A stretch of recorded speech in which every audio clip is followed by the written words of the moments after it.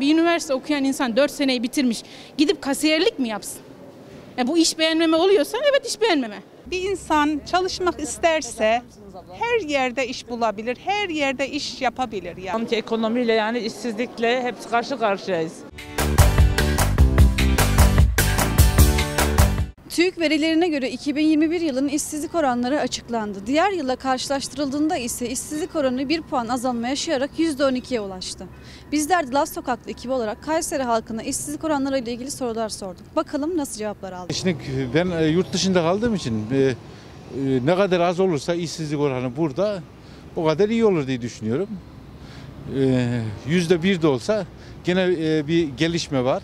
Duyuyoruz sadece işsizlik e, var diye. Ama e, ben şunu da e, söyleyebilirim. Yani çoğu kişi etrafımızda da taraf çalışmak istemiyorlar.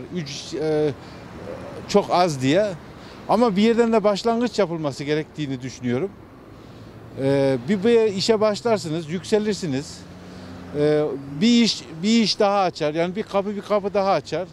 Ama hiç başlamazsanız o da yani bence iyi değil. Yani benim düşündüğüm bu kadar. Yani Peki Türkiye'deki gençlere baktığımızda genç işsizlik oranları ile ilgili gençler iş beğenmemezlik mi yapıyor yoksa iş mi bulamıyorlar? Ee, benim e, görüşüm e, biraz da iş beğenmemezlik yapıyorlar şu yönden. Şimdi çoğu kişi okuyor. Okuyor e, oturaraktan para kazanayım diyor. Bu ben biraz Avrupa'da da biraz öyle. E, meslek öğrenmeden hemen e, ne bileyim yani e, meslek yapmadan daha bir üst iş bulayım diye şeydi ama e, o yapmayacak bu yapmayacak da meslekleri kim yapacak? Yani ben o tarafta o yönden e, şunu düşünüyorum yani şey de olsa bir mesleğine yani bir başlangıç yapmak gerek. O meslekten sonra e, bak aha, çok e, şöyle de düşünüyorum.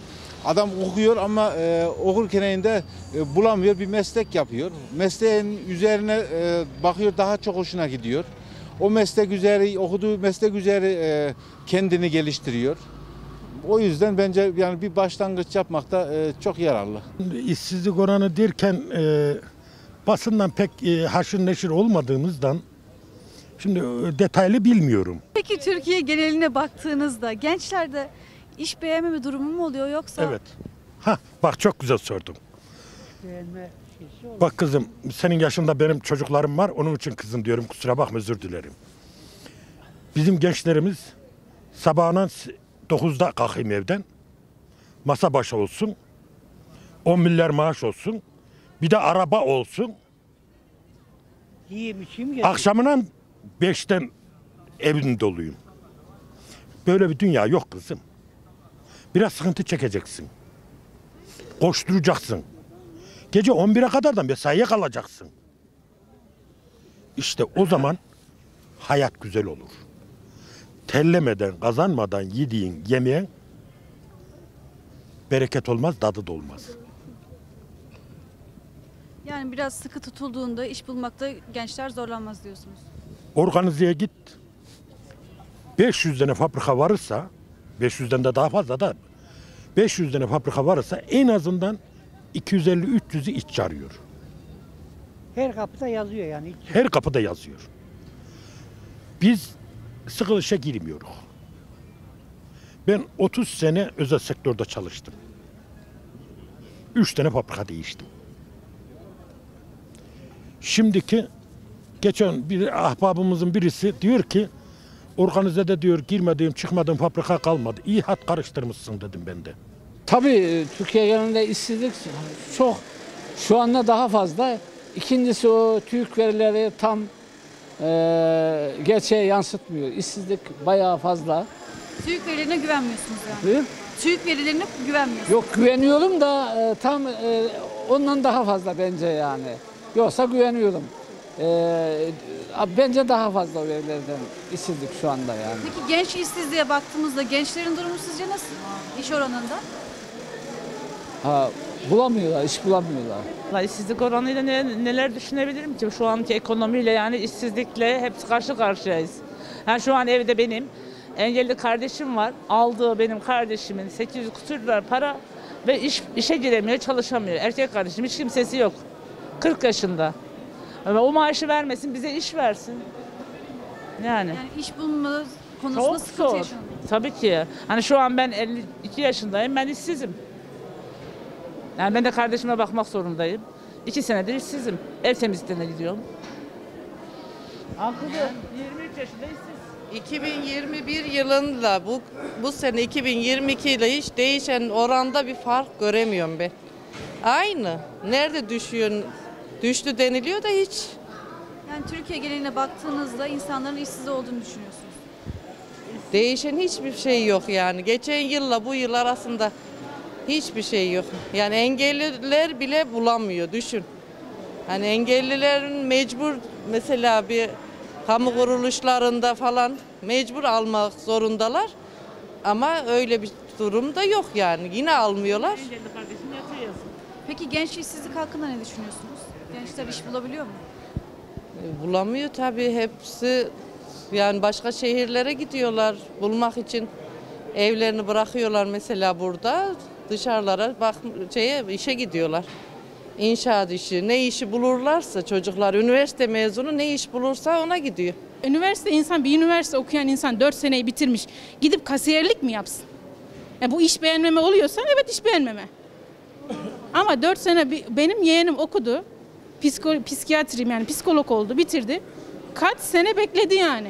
Atanamadı en sonunda gitti özel bir kurumda şeylik yapıyor. hmm, rehber öğretmenlik yapıyor. Ne askeri ücret belki de aldı onu da bilmiyorum. Yani gençlerin iş bulmakta zorluk çektiğini hayır öyle bir şey yok. Tabii çok zor şu anki. Şu anki sistemde çok zor. Bilmiyorum hani ülke hiç iyiye gitmiyor. Savaş yokken bizim ülkede yağlar tırmanıyor. Bir de savaş olsa ne yaparız acaba? Birbirimizi yerdik. Kesin yerdik birbirimizi. Yani hiç kimse kimseyi de düşünmüyor. İnsanlık da şeyde kalmadı. Hani arkadan gelene düşünme de kalmadı. Aslında hani böyle bir baktığım baktığımız hani dindar bir kesim yönetiyormuş gibi gözüküyor ama aslında çok kaybettik gerçek şeyimizden, özümüzden kaybettik öyle söyleyeyim. Hiç dindarlıkla şeyimiz kalmadı yani. Hani böyle sözde. Hani herkes cuma mesaj atıyor ya hayırlı cumalar. Sadece sözde kalıyor. Kimse onun maneviyetinin farkında da değil. Bence böyle. Peki iş bulma konusunda normale dönebilmek için, iş bulabilmek için ne gibi iyileştirmeler yapılabilir bu durumda?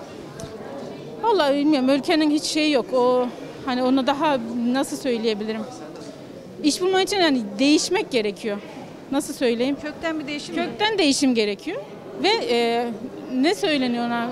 He- yani iş için bir yerlerin açılması gerekiyor. Bizde tam tersi kapanma var. Özelleşme var, kapanma var. Zaten bir dayın emmin yoksa diyeyim hani bir devlet dairesine girmek zaten imkansız gibi bir şey oldu. Çok şansa. Bilmiyorum. Allah diyorum ya gençlerin yardımcı olsun. Şu an okuyan çocuklar okusalar da hani şöyle acaba bir yere girebilecek miyim derdindeler.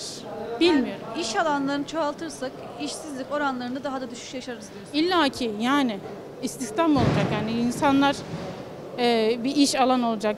Yeni yeni bir şey istiyor. Artık Türkiye hani yeni bir geçişe geçmesi gerekiyor artık. İşverenlerin çoğalması lazım. yani. İşverenlerin çoğalması gerekiyor. İşverenlerin çoğal asgari ücrete zam yapıyorlar. Bu, bu sefer işverenler işçileri işten çıkarıyorlar. Şu anki gelen asgari ücretle gelen zamı kıyaslarsak şu an yani 77 7500 falan olması gerekiyordu asgari ücretin. 4250 değil yani. Vardır tabii ki. Vardır. İlla ki vardır yani. İlla ki işsizlik vardır, açlık. He, e, aylıklara verdi ama 500 lira verdiyse 1000 lira geri aldı. Yani çok çok çok hele bu sene çok felaket yani. Peki Türkiye geneline bakıldığında insanlar iş bulmakta zorlanıyor mu yoksa iş alanları yeterli mi? Vallahi erkeklere ya şunu söyleyeyim kızım bir insan çalışmak isterse her yerde iş bulabilir, her yerde iş yapabilir yani. Yani iş alanları yeterli diyorsun. Bence yeterli. Kimileri beğenmiyor, iş beğenmiyor. Yani bence yani kafi diyorum ben. Peki genç işsizlikle ilgili neler söylemek istersin? Gençlerimiz beğenmiyor yani. Güzel olsun, parası çok olsun istiyor ama öyle olmaz. Önce basamak basamak. Birdenbire yani tepeye çıkamaz yani hiç kimse. İlla ki basamak basamak çıkması lazım. Yani Peki insanlar işlerinden memnun mu? mecbur mutlaka memnun olması lazım. Çünkü e, açlık sınırı çok yükseldi. Çok yükseldi. Şimdi hele hele de bu sene felaket yani.